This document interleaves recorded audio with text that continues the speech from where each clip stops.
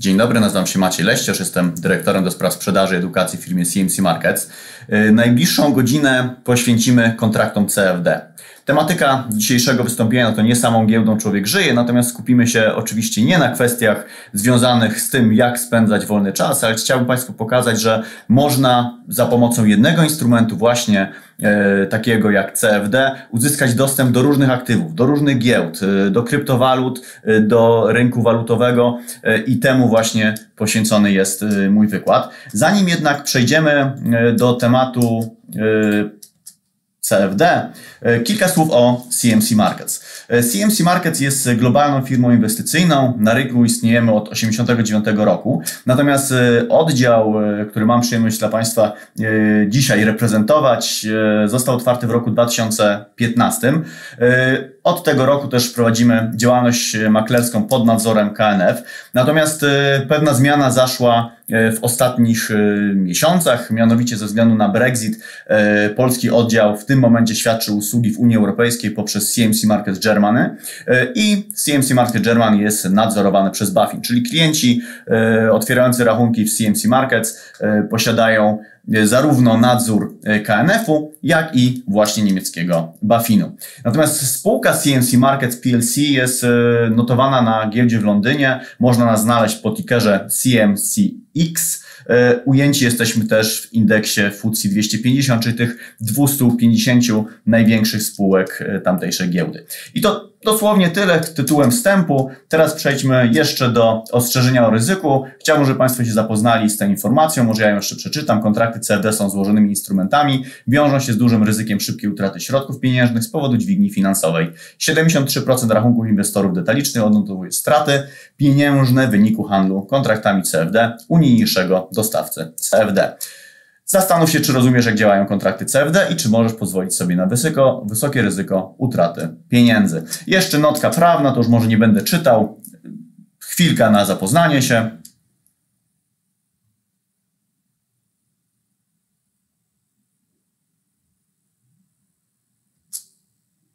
No i możemy przechodzić już do tematu. Zaczniemy sobie od takiego bardzo krótkiego podsumowania e, można to nazwać szalonego roku. Tak? Myślę, że każdy chciałby wymazać e, ten rok z pamięci, przynajmniej pod kątem takim prywatnym, natomiast inwestycyjnie na pewno działo się bardzo dużo i o tym e, nie można zapominać.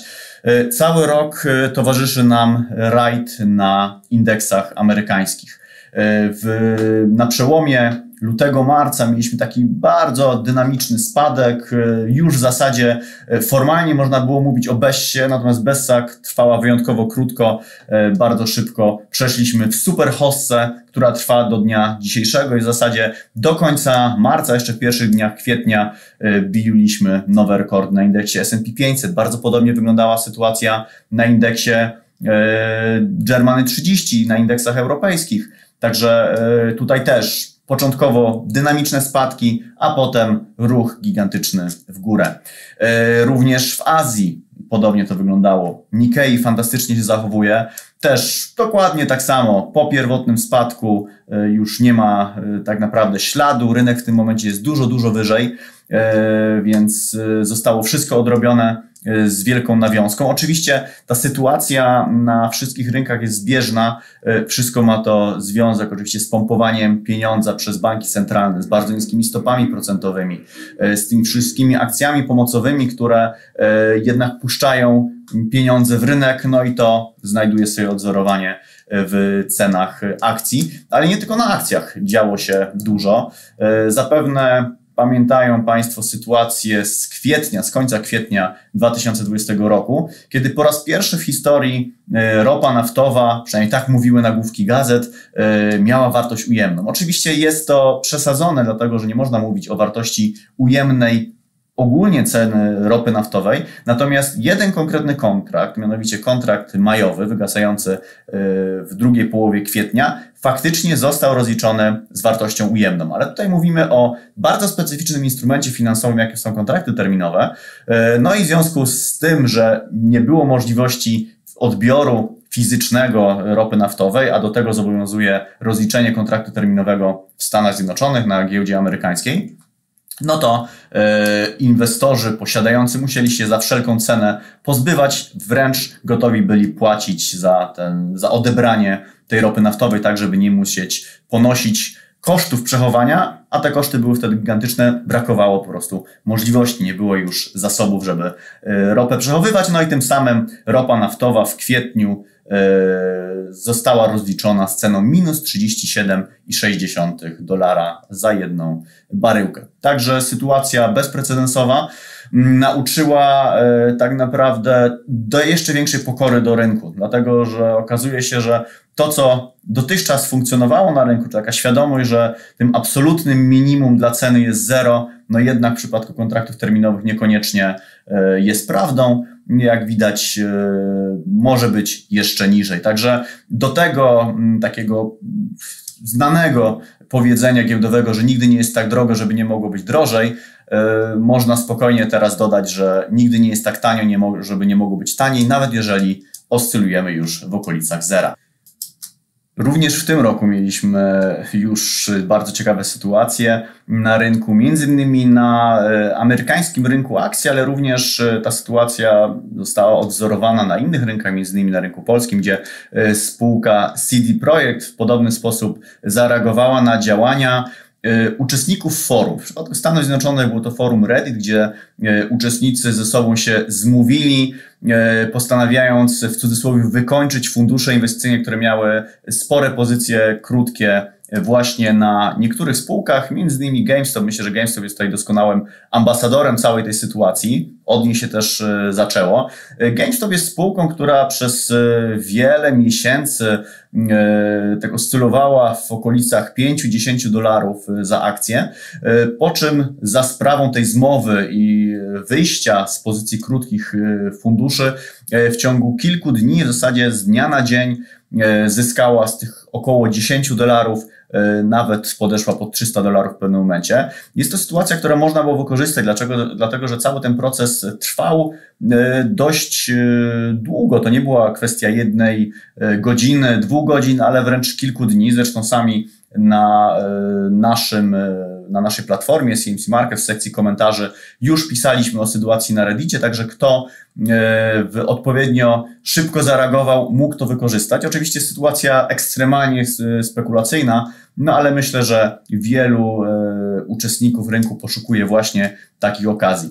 E, I Kolejna, myślę, aktywo, którego nie trzeba nikomu e, tutaj w jakiś sposób przypominać, co się na nim dzieje, mianowicie Bitcoin. Bitcoin, który wydawało się jeszcze dwa lata temu, że po tych wzrostach w okolicy 20 tysięcy dolarów, że e, takie silne wzrosty ma za sobą, pomimo, że wielu e, analityków, wielu komentatorów rynkowych wieszczyło tutaj nawet podejście w okolicy 100-500 tysięcy dolarów. W dalszym ciągu oczywiście niektórzy takie prognozy stawiają. Natomiast no, mimo wszystko, pomimo że aż tak wysoko Bitcoin nie zaszedł, to i tak mamy y, poziomy rzędu 60 tysięcy dolarów, gigantyczne wzrosty.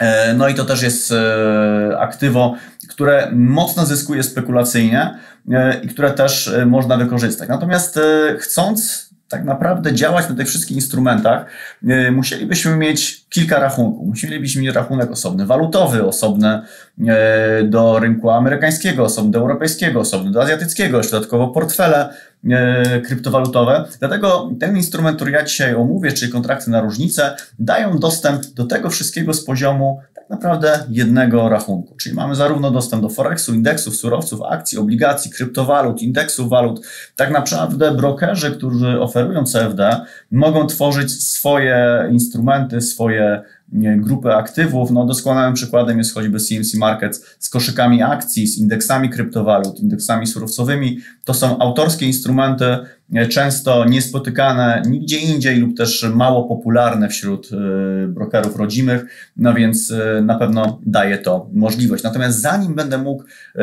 omówić kwestię CFD, wyjaśnić jak to działa, Chciałbym najpierw zacząć od tego, czym są instrumenty pochodne, dlatego że kontrakt na różnicę jest instrumentem pochodnym, czyli oznacza to w ogóle w przypadku instrumentów pochodnych, że e, cena tych instrumentów uzależniona jest od ceny instrumentu bazowego, a takim instrumentem bazowym mogą być właśnie akcje, towary, indeksy, waluty, no i wszystko inne, co tak naprawdę dany broker zechce nam jako kontrakt na różnicę udostępnić.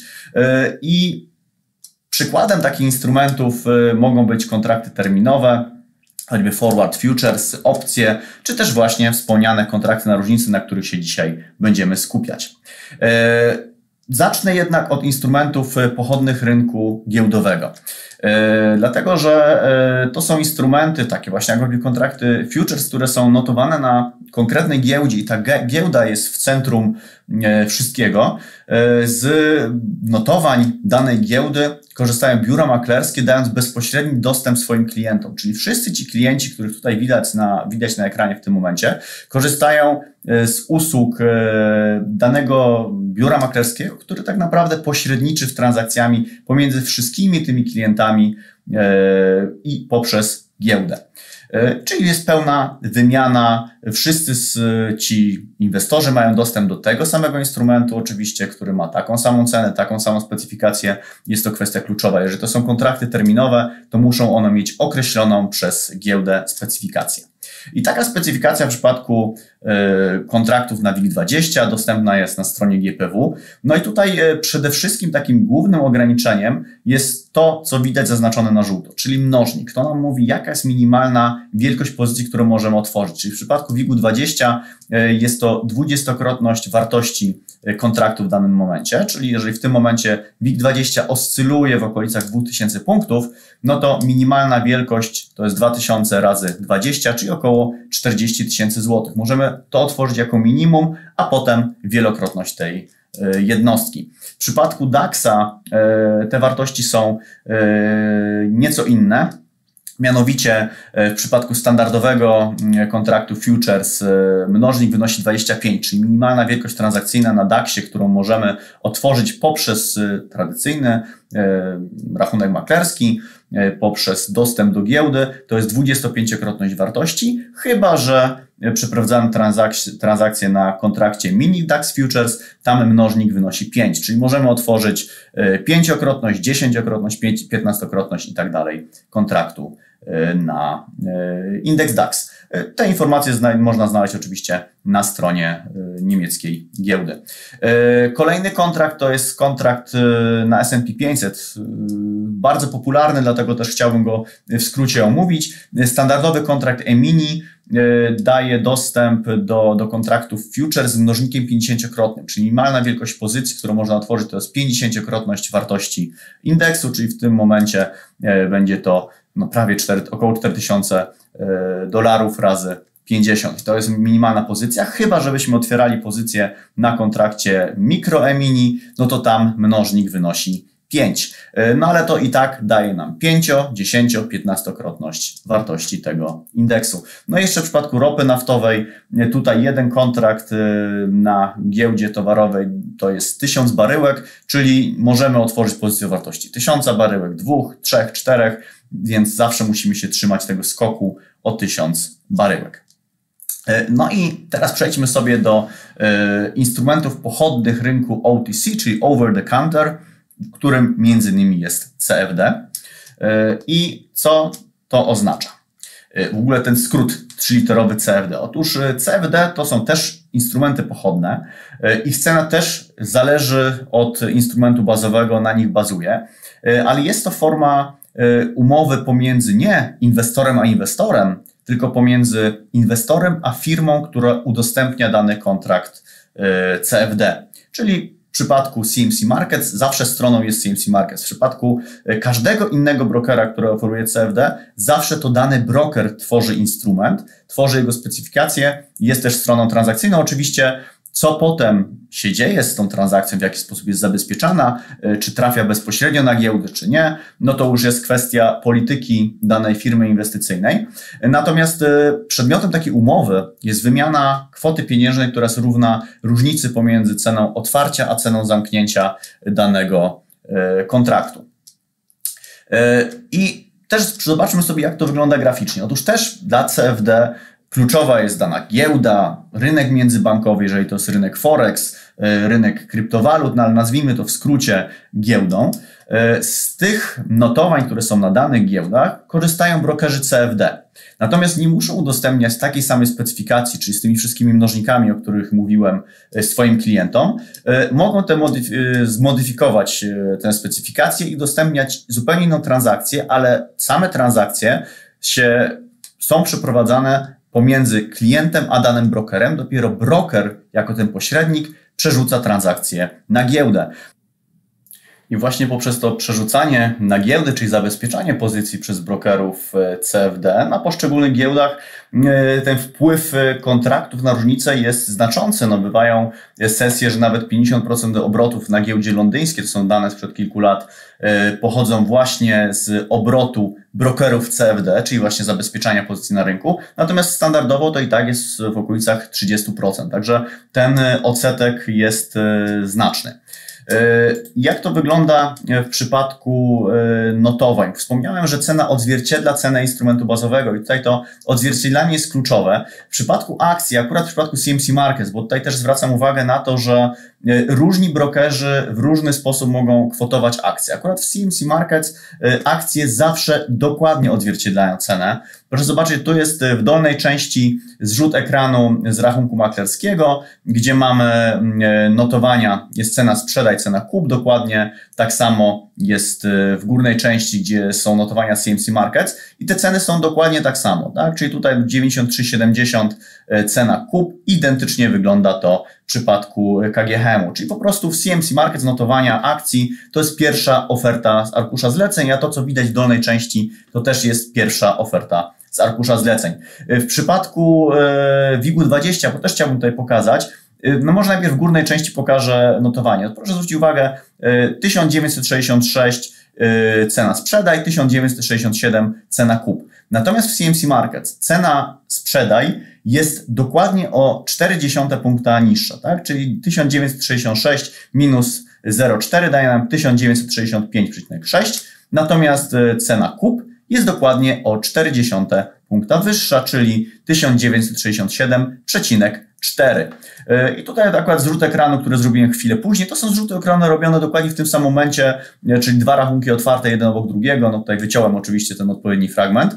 Jak widać, dokładnie ta sama zasada. Dokładnie 40 punkta wyżej i cena kup o 40 wyżej. E, wiemy więc, że ta prowizja w przypadku rynku kontraktów wynosi dokładnie 40 groszy e, dla ceny kup i 40 groszy dla ceny sprzedaj. Czyli jesteśmy sobie w stanie bardzo łatwo to wyliczyć. Nie ma żadnej dodatkowej prowizji, tak? Czyli w ten sposób funkcjonuje. Ja to pokażę na przykładzie rynku e, polskiego. Myślę, że najłatwiej będzie zrozumieć osobom, które mają do czynienia e, wcześniej z kontraktami terminowymi.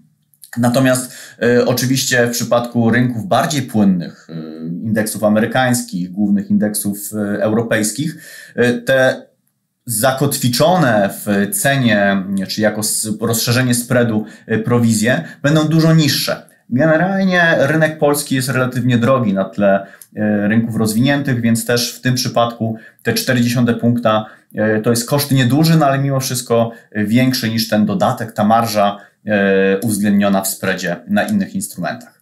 E, I tak, żeby pokazać takie kluczowe różnice pomiędzy rynkiem bazowym a e, rynkiem CFD, pokażę to na przykładzie akcji. Myślę, że też dla osób, które mają doświadczenia z rynkiem akcji, też to będzie najbardziej zrozumiałe. Oczywiście, jeżeli kupujemy na rynku bazowym, tutaj trzymajmy się tego rynku akcji, stajemy się automatycznie akcjonariuszem, tak? Czyli wszystkie prawa, które nam z tego tytułu E, przysługują, e, oczywiście możemy wykorzystać. Natomiast w przypadku CFD na akcję, nieważne jak duża byłaby ta nasza pozycja, e, nigdy nie będziemy akcjonariuszem. Jest to instrument czysto spekulacyjny. Tak jak wspominałem, transakcje na samym rynku przeprowadza bezpośrednio firma inwestycyjna, której mamy otwarty rachunek, natomiast my działamy jedynie, opieramy się na cenie.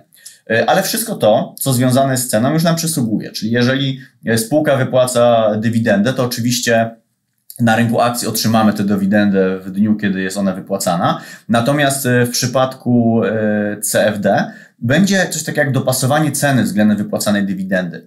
E, dlatego, że tego typu działania oraz inne akcje korporacyjne wpływają na cenę i wszystko to, co wpływa na cenę, jest odzwierciedlane w cenie CFD. No oczywiście, jeżeli wypłacana jest dywidenda w wysokości złotówki, no to podręcznikowo cena akcji spadnie o tę jedną złotówkę. E, w przypadku e, rynku bazowego, również kontraktów, ale tutaj mówimy o rynku akcji, rozliczanie sesji odbywa się w trybie D plus 2, tak? czyli środki ze sprzedaży akcji dostępne są na rachunku e, nie od razu, natomiast w przypadku CFD nie tylko nie jest to rozliczane z opóźnieniem kilku dni, ale rozliczane jest w czasie rzeczywistym, czyli jeżeli otwieramy pozycję o godzinie 15, o godzinie 15.01 cena idzie w górę, to od od razu oczywiście ten zysk się pojawia na naszym rachunku jako niezrealizowany zysk, któremu, który możemy wykorzystywać pod otwieranie kolejnych pozycji. E, no oczywiście w przypadku e, akcji wymagane jest 100% środków pod transakcję, dlatego że jest to instrument nielewarowany, natomiast transakcje CFD są lewarowane, czyli wystarczy nam jakiś procent e, wartości pozycji, czyli tak zwany depozyt zabezpieczający, ale to e, jeszcze o tym w dalszej części powiem. E, transakcje na rynku akcji, przynajmniej w przypadku giełdy polskiej, są jedynie na wzrost. Funkcjonuje wprawdzie taka krótka sprzedaż, dostępna dla instytucji, dostępna dla inwestorów indywidualnych w day tradingu. To jest też ważne, czyli biura maklerskie inwestorowi indywidualnemu również mogą zaoferować krótką sprzedaż, no ale nie będzie ona w pełnym zakresie tak jak w przypadku CFD, gdzie można trzymać dowolny okres czasu pozycję krótką. W przypadku e, rynku akcji te biura maklerskie, które oferują, e, oferują to jedynie na, w ciągu jednego dnia, czyli przed końcem dnia trzeba pozycję zamknąć.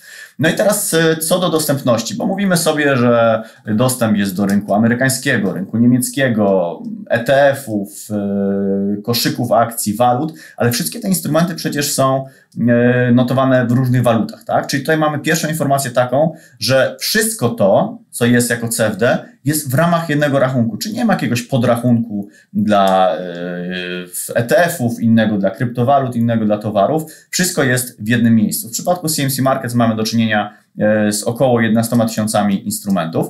I wszystkie te instrumenty są rozliczane w jednej walucie. No bo oczywiście nie musimy mieć jenów, żeby otworzyć pozycję na rynku Nikkei, e, czy też dolarów, żeby e, otworzyć pozycję na ropie. Wszystko to jest na rachunku zawsze rozliczane w walucie bazowej. Czyli przykładowo na CD Projekt wiadomo, jeżeli naszą walutą bazową jest polski złoty, no to będzie to e, rozliczane w polskim złotym. Ale tak samo będzie niemiecki Deutsche Bank, tak samo będzie złoto notowane w dolarach, tak samo będzie ropa, czy też bitcoin, które też są w dolarach Natomiast depozyt zabezpieczający, który tutaj jest wyliczony, szacowany depozyt zabezpieczający, on jest jedynie blokowany po aktualnym kursie. Ja specjalnie podkreślam słowo blokowany, dlatego że e, tutaj nie możemy być ani stratni, ani zyskowni na samej zmianie kursu. No bo wyobraźmy sobie sytuację, że e, otwieramy pozycję e, na, jak to będzie Deutsche Bank, przy kursie euro 4,50, ale nagle kurs euro skacze nam do 5 złotych no to w momencie, kiedy byśmy odzyskali po pewnym czasie jedynie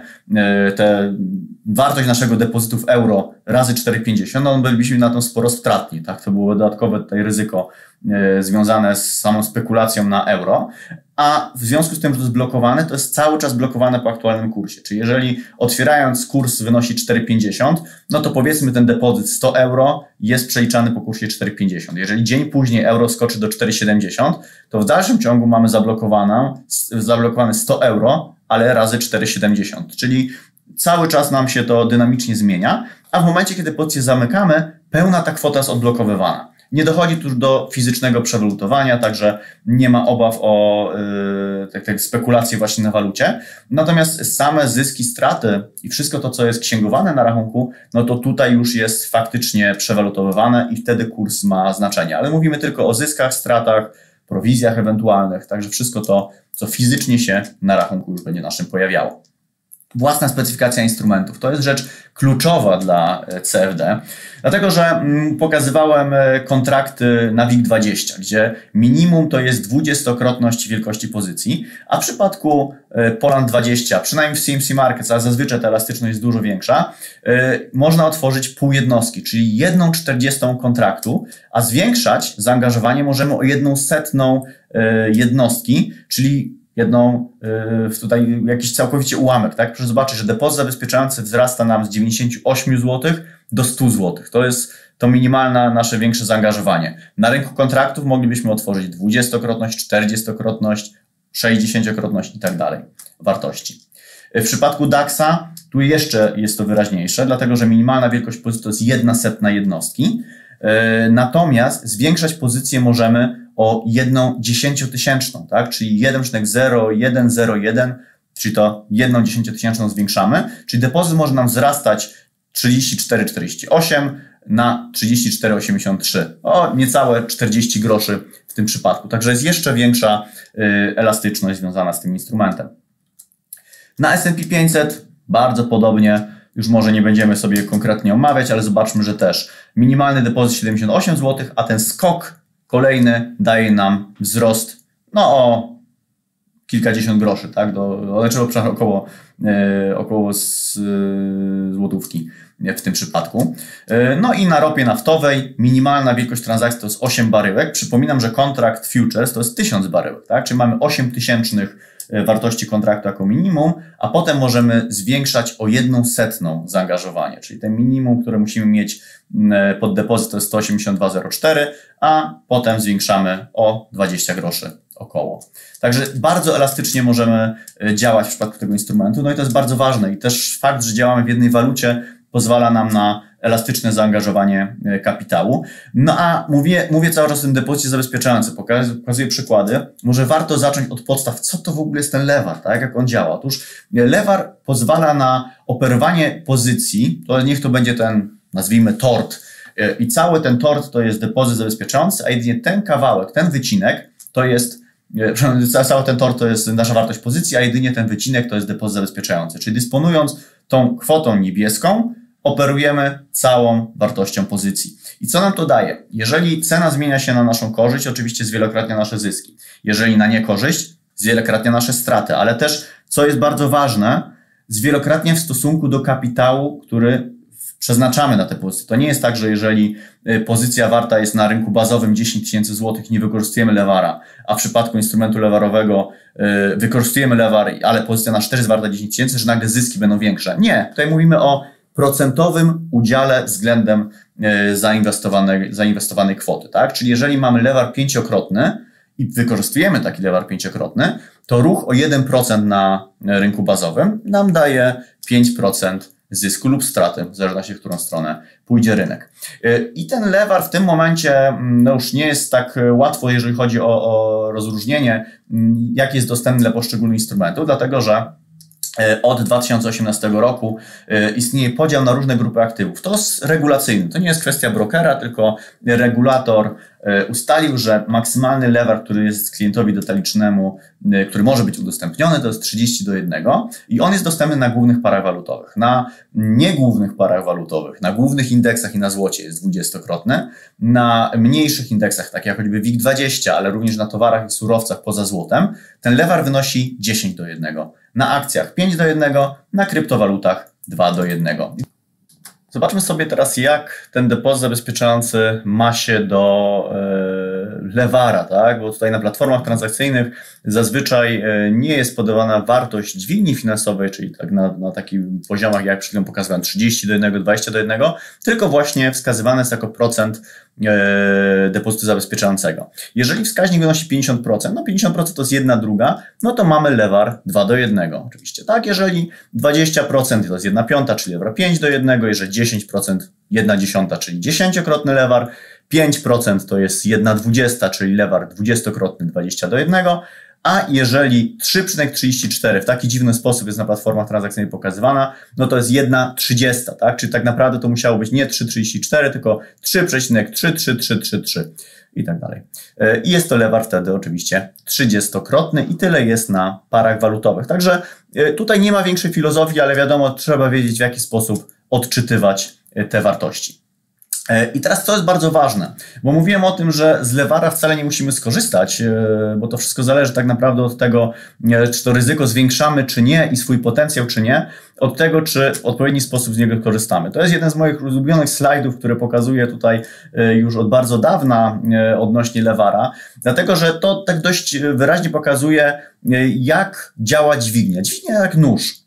Nóż oczywiście jest narzędziem, który jest bardzo pomocny w kuchni, bardzo pomocny w wielu e, zastosowaniach, natomiast trzeba umieć z niego korzystać. Takiego noża ostrego kuchennego nie damy małemu dziecku, Natomiast no oczywiście z wiekiem, kiedy będzie się uczyło najpierw korzystać z takiego standardowego nożyka e, obiadowego, wcześniej pewnie plastikowego, no to w końcu jak już e, będzie na tyle dojrzały, żeby móc e, sprawnie korzystać e, z noża takiego kuchennego, może go do ręki dostać. Ale to wymaga oczywiście wprawy i dokładnie tak samo wygląda to w przypadku lewara.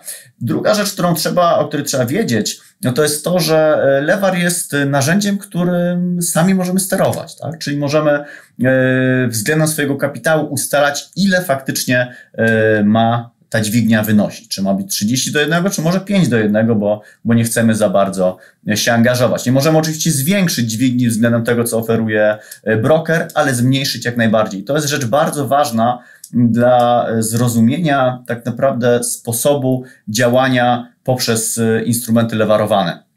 Dlatego, że e, o ile analiza wygląda dokładnie tak samo, tutaj możemy spokojnie bazować na analizie e, rynku akcji, tak, jeżeli chcemy działać na danej spółce z, z jakiegoś źródła, które znamy, jakiegoś portalu, jakiegoś forum na przykład, czy też e, ulubionego programu do, do analiz. Natomiast już samo zarządzanie wielkością pozycji i ustalanie dźwigni, no to rzecz, którą robimy oczywiście konkretnie na platformie, gdzie już otwieramy pozycję, no ale możemy ją sobie sterować, tak? Czy może być duża, ale możemy też ją sobie, tak jak tutaj na tym slajdzie widać, e, obniżać. Wielkość lewara i sam lewar, tak? Jeżeli inwestujemy pozycję, wartość pozycji ma, to jest 1000 zł, a my na swoim rachunku mamy 200 y, zł, no to wtedy faktycznie wykorzystujemy lewar pięciokrotny. Ale wyobraźmy sobie sytuację, że otwieramy taką samą pozycję o wartości 1000 zł, mając na rachunku nie 200, ale 500 zł, no to wtedy ten nasz faktyczny lewar będzie już tylko dwukrotny. Jeżeli natomiast będziemy mieli na rachunku 1000 zł i otworzymy pozycję o takie wartości, pełnego tysiąca, no to nasz lewar będzie wynosił 1 do 1, czyli tak naprawdę nie będziemy się w ogóle lewarować. E, I e, tutaj zobaczmy sobie w praktyce. Tak? Mamy przykład KGHM, to jest slajd, który też robiłem mniej więcej wtedy, kiedy robiłem nóż. E, proszę zobaczyć, 77 zł wtedy był wart, była warta akcja KGHM, czy była na tyle wyceniana. E, no w tym momencie jesteśmy w okolicach 200, tak? więc to też pokazuje, jaki potencjał e, miał ten rynek w ostatnim czasie. Chociaż, przepraszam, to jest z października jeszcze ubiegłego roku, czyli nie aż tak bardzo odległy e, ten zrzut ekranu. No ale sam fakt. Nie tworzyłem nowego, bo chcę pokazać, w jaki sposób zarządza się lewarem. Czyli jeżeli mamy na rachunku 10 tysięcy złotych i otwieramy pozycję o wartości 50 tysięcy złotych, tak, czyli pięciokrotnie więcej, to nasz faktyczny lewar wynosi 5 do 1. Ale jeżeli przy tym samym rachunku, czyli 10 tysięcy złotych, otworzymy pozycję o wartości 20 tysięcy złotych, to nasz faktyczny lewar wyniesie 2 do 1. A jeżeli mając 10 tysięcy otworzymy pozycję o wartości 10 tysięcy, nie lewarujemy się wcale. I w ten sposób właśnie ustalamy y, wielkość y, naszego lewara. Y, możemy też, o to o czym już mówiłem, otwierać pozycje krótkie, Tutaj nie będę się na tym jakoś specjalnie rozwodził. Oczywiście yy, możliwość otwierania pozycji krótkich daje nam yy, możliwości osiągania zysków nawet wtedy, kiedy rynek traci. Tak? No standardowo jesteśmy przyzwyczajeni do tego, że posiadając papiery na swoim rachunku, kupione akcje, jeżeli ich cena spada, no to w tym momencie albo topnieje nasz zysk, albo w ogóle pojawia się strata. No a pozycje krótkie dają możliwość osiągania zysków, czyli y, jeżeli cena spada, to oczywiście możemy na tym zyskiwać, ale z kolei jeżeli cena wtedy rośnie, to pamiętajmy, że to działa zupełnie odwrotnie, tak? Wtedy będziemy tracić. Jest to nic innego jak takie odwrócenie procesu, czyli zamiast najpierw kupić, najpierw sprzedajemy. To może być e, dość trudne do mm, wyobrażenia sobie i zobrazowania dla osoby, która nigdy miała do czynienia z rynkiem instrumentów pochodnych. Natomiast musimy e, bardziej sobie pod, zamiast przycisku sprzedaj zwizualizować przycisk e, otwórz pozycję na spadek, bo tak naprawdę my nic nie sprzedajemy, bo my tego nie posiadamy tylko przeprowadzamy transakcje na spadek. Y, na rynku y, akcji w przypadku takiej klasycznej y, transakcji krótkiej sprzedaży, najpierw pożyczamy akcje, sprzedajemy na jej rynku, żeby odkupić po cenie niższej, no i oddać do instytucji pożyczającej. No tutaj nie ma potrzeby nic pożyczać, wszystko jest w ramach tak naprawdę jednego kliknięcia. Rozliczanie w czasie rzeczywistym. To też pokażę na przykładzie. Jeżeli mamy rachunek maklerski, i na tym rachunku maklerskim mamy papiery, no to zwiększa nam się wartość tych papierów, tak? Czyli kupujemy akcje warte na przykład 10 tysięcy złotych, no jeżeli one pójdą o 40% w górę, no to mamy 14 tysięcy złotych, ale nie możemy dysponować kwotą 14 tysięcy złotych, dopóki tych papierów, tych akcji nie sprzedamy. Dopiero wtedy mamy uwolnione środki. Natomiast w przypadku CFD w momencie, kiedy mamy otwartą pozycję i ona zyskuje, niech to będzie znowu przykład 10 tysięcy i zyskujemy 4 tysiące, to te 4 tysiące możemy przeznaczyć pod otwieranie kolejnych pozycji. Teraz pokazuję takie skrajne przypadki, to są prawdziwe, e, zrzuty ekranu z rachunków e, inwestorów CMC Markets. Proszę zobaczyć, to jest sytuacja, w której klient mając na rachunku 258 tysięcy złotych, wykorzystał łączny depozyt o wartości 867. I to nie jest błąd. Po prostu dysponując kwotą, czy być może miał na początku nawet mniej. Natomiast w tym momencie, kiedy robię zrzut ekranu, ma 258 y, i to, że depozyt wynosi więcej, wynosi z tego, że mógł przeznaczać pod otwieranie kolejnych pozycji niezrealizowany zysk. Proszę zobaczyć, że chwilę później ten sam klient miał w dalszym ciągu tyle, 258 542 pod depozyt, ale wartość rachunku już wzrosła powyżej miliona złotych. Tutaj, jak widać, zrealizował część zysku, bo nagle gotówka zwiększyła się do 266, no i wartość rachunku też mocno zyskała, a sama pozycja ponad milion miała zysku. Jak to się skończyło, no to mm, nawet sam nie wiem, tutaj nie pamiętam, jak to dokładnie wyglądało, e, ale e, jakby chciałbym pokazać sam mechanizm. Tutaj pokażę jeszcze bardziej e, drastyczny przykład, też bardzo spekulacyjnie e, nastawiona e, osoba do, do rynku. E, proszę zobaczyć, depozyt zabezpieczający 65 tysięcy złotych, wartość rachunku 54.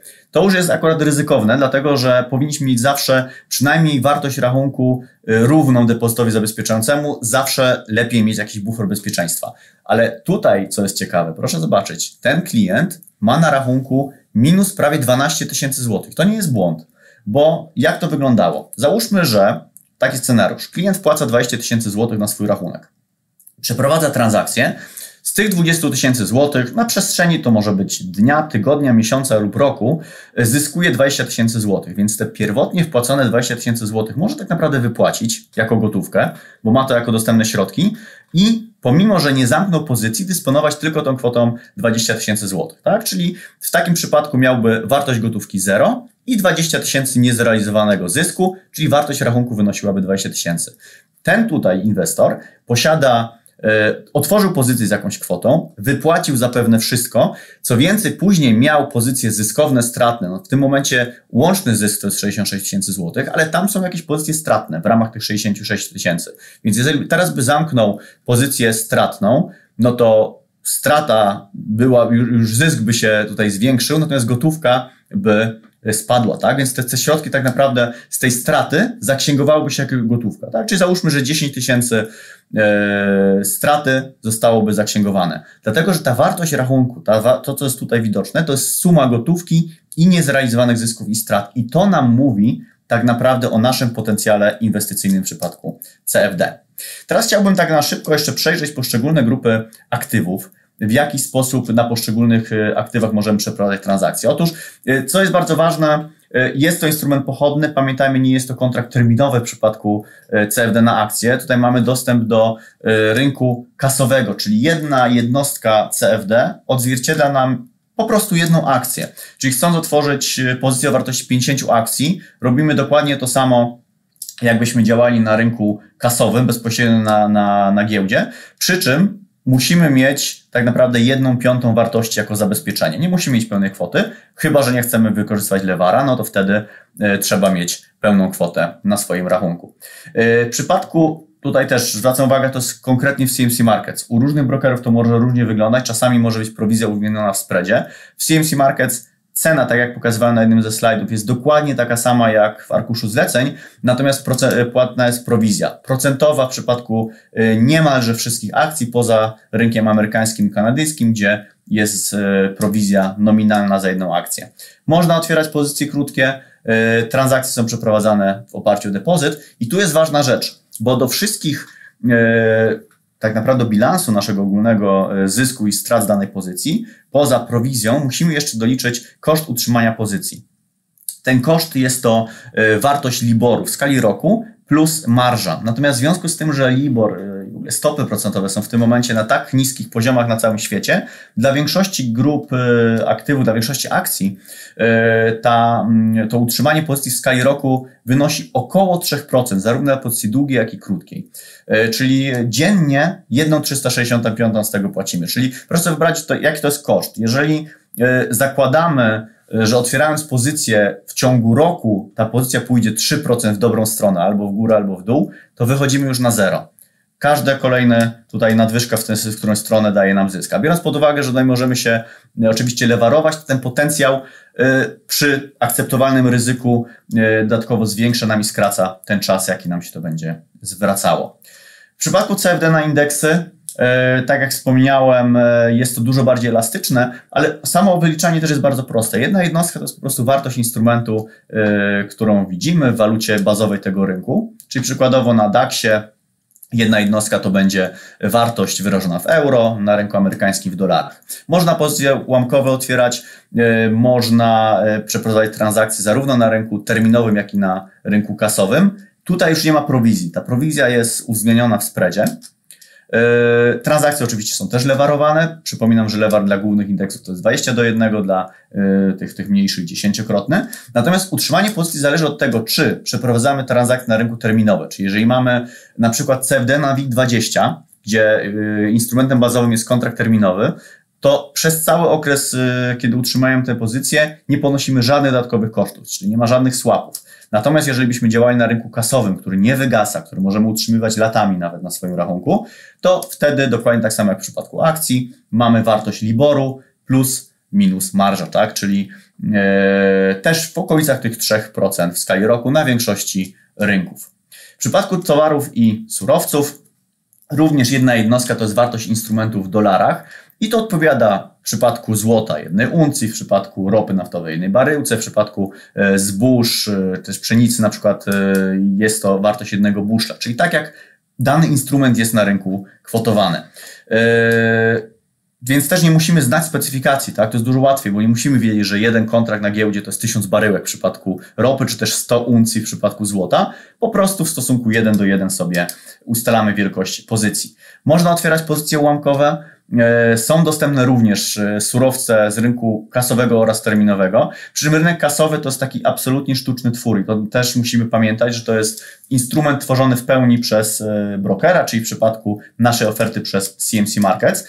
No i to też jest w ogóle ważne, o tym nie powiedziałem, ale na niektórych instrumentach, indeksach tworzonych przez brokera, na rynku walutowym przede wszystkim, o tym za chwilę jeszcze powiem, ceny mogą się pomiędzy brokerami nieznacznie różnić. Jakieś często ułamki, ale to wszystko zależy o co, w jakim oparciu o co tworzy y, broker instrument, więc też zawsze musimy dokładnie zapoznać się ze specyfikacją dostępną u danego brokera, a nie porównywać ślepo z rynkiem bazowym. Tak jak wspomniałem, można w przypadku akcji w pełni y, zaufać rynkowi bazowemu i śledzić ceny na, na rynkach bazowych, na jakichś portalach branżowych, no ale w przypadku już innych instrumentów często trzeba zwrócić uwagę, co kryje się w danym instrumencie, jaka specyfikacja. Co do utrzymania pozycji, na rynku terminowym też nie ma kosztów, e, ani też przychodów z tego tytułu, e, czyli możemy otworzyć pozycję i trzymać ją e, do wygaśnięcia kontraktu terminowego na danej giełdzie, no i nie będziemy ponosić żadnych kosztów. Natomiast w przypadku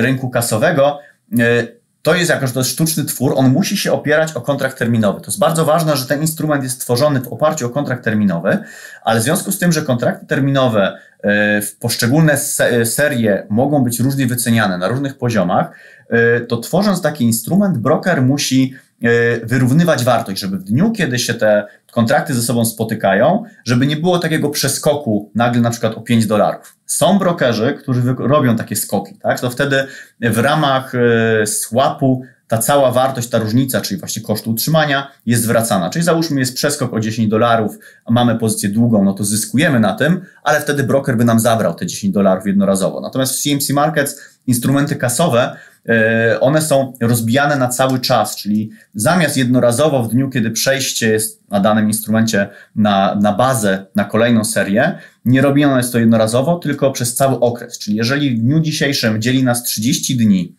do przejścia na kolejną serię kontraktu terminowego jako bazę dla instrumentu kasowego i dzieli nas 30 punktów, no to codziennie musi być jeden, jedna jednostka, czyli na przykład jeden cent wyrównany, żeby się w dniu przejścia płynnie te instrumenty spotkały i wtedy znowu będzie wyrównywanie względem kolejnego kontraktu, już może nie o jednego centa dziennie, tylko na przykład o pół centa, tak? W zależności jak będzie oddalona ta kolejna seria kontraktu. Tutaj na to można poświęcić naprawdę i 20 minut na tłumaczenie, to ja tylko zobrazuję to e, na ropie naftowej, to jest ta sytuacja pamiętna z kwietnia 2020, kiedy ropa spadła tak nisko i proszę zobaczyć, w momencie, kiedy e, było przejście na kolejną serię, było tak duże to kontango, czyli ta różnica pomiędzy e, kolejnymi seriami, że musiało tutaj zostać wyrównane około tam, 15 dolarów, tak, niemalże. No i to właśnie doskonale można było narysować taką linię, czyli żeby nie było jednorazowego przeskoku, ta różnica tych kilkunastu dolarów została rozbita na 30 dni, czyli do czasu, kiedy na kolejną serię e, trzeba przejść. Także w ten sposób to, to działa. CFD na waluty. Tutaj też nie ma filozofii, natomiast e, przyzwyczajeni do e, platform forexowych uczestnicy rynku mogą e, myśleć o jednostkach lotów, natomiast akurat w CMC Markets nie ma lotów, tylko mm, przynajmniej na platformie Next Generation, na MT4 są.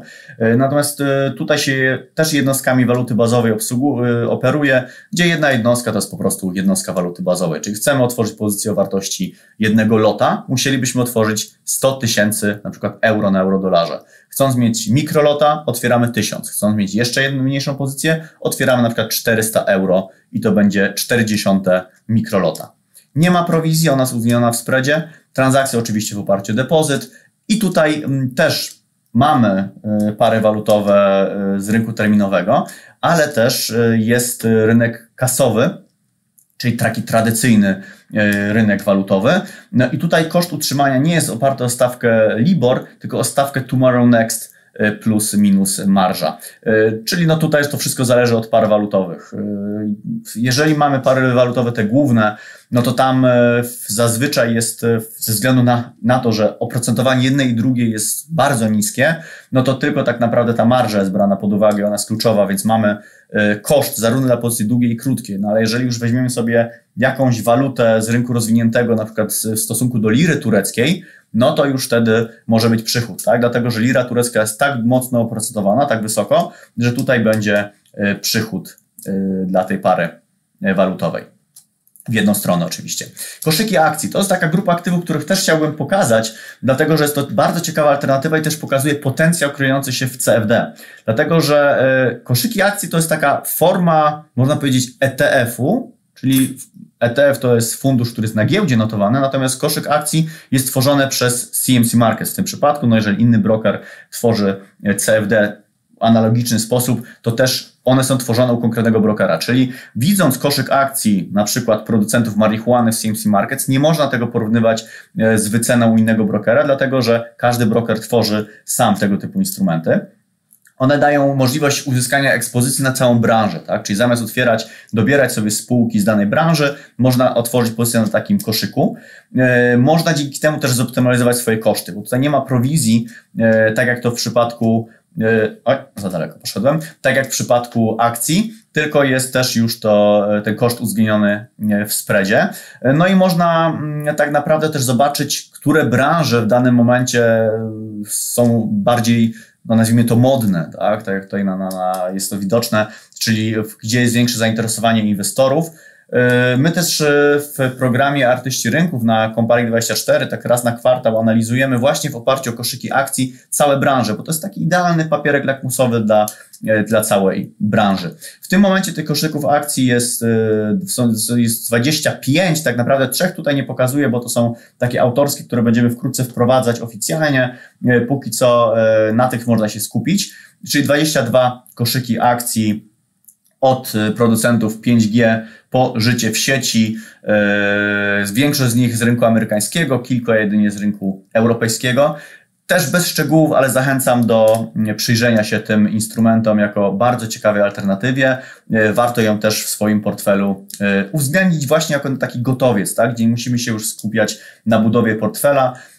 Zresztą w tworzeniu tych koszyków akcji, oczywiście CMC Markets je tworzy, ale nad prawidłowością wyceny tych instrumentów czuwa firma Markit, czyli ta, która zajmuje się mm, e, tworzeniem e, danych makroekonomicznych, publikacją danych makroekonomicznych w Europie i na świecie, także jest to solidna instytucja.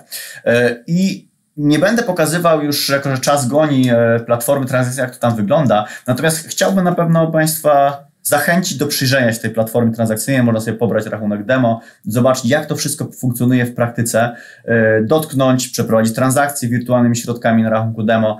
E, sama platforma jest bardzo zaawansowana, daje bardzo wiele możliwości. E, dostęp jest no, do tysięcy instrumentów, tak jak pokazałem na samym początku, dokładnie do 11 tysięcy z drobnym haczykiem.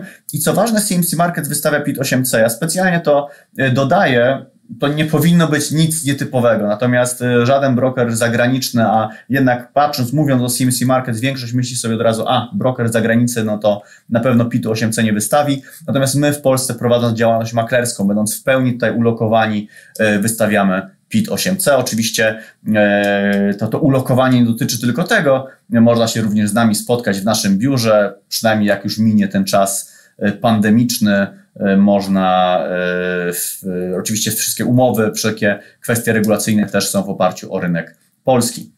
Sam rachunek, tak jak wspomniałem, 11 tysięcy instrumentów, w pełni automatyczna realizacja zleceń bez pośrednictwa dealera. Też tego na platformie nie pokazywałem, natomiast mamy dostęp do głębokości rynku przez drabinkę cenową na wszystkich instrumentach, które są oferowane.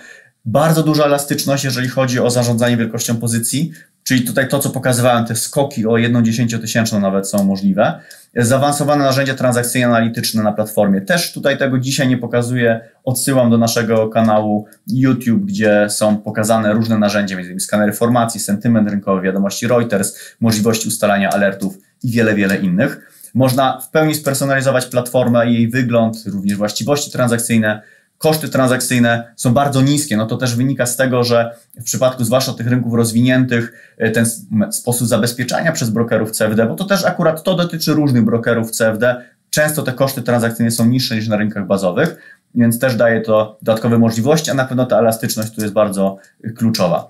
E, starałem się tutaj gonić czas, jako że tego czasu nie miałem zbyt wiele. E, ciężko przedstawić wszystko w ciągu e, tych e, kilkudziesięciu minut, dlatego oczywiście zachęcam do kontaktu z nami. Jeżeli kogoś zainteresuje temat, cokolwiek wymagałoby rozwinięcia, jesteśmy do dyspozycji od poniedziałku do piątku, od 8 rano do godziny 20.